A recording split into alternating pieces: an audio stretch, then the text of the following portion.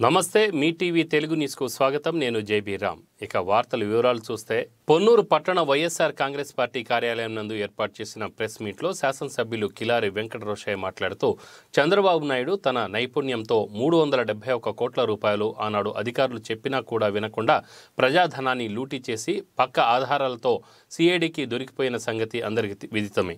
పెద్ద ఎత్తున అవినీతి ఈ స్కిల్ స్కామ్లో ట్రైనింగ్ నెపంతో విద్యార్థులకు శిక్షణ ఇవ్వాల్సిన పరిస్థితిలో వారి దగ్గర కూడా డబ్బులు వసూలు చేయడం చంద్రబాబు నైపుణ్యతకు నిదర్శనమన్నారు.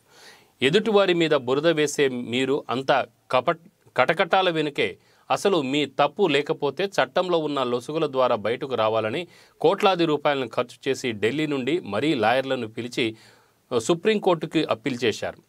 అదేవిధంగా మీ నాయకుడు అలానే ఇక్కడ పొన్నూరు నియోజకవర్గంలో పాడి రైతులను మోసం చేసి కోట్లాది రూపాయలు కాజేసి సంఘం డైరీ ద్వారా వేలాది కోట్లను తన నైపుణ్యంతో కొల్లగొట్టి సంపాదించిన ధూళిపాళ నరేంద్ర నీతిమంతుడిలా మాట్లాడడం చాలా హాస్యాస్పదంగా ఉందని అన్నారు.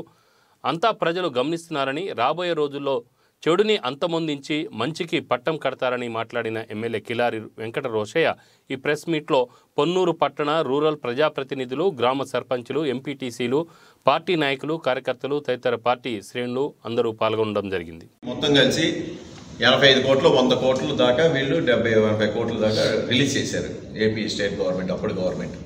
దాంట్లో ఖర్చు పెట్టింది తక్కువ చూపించింది ఎక్కువ.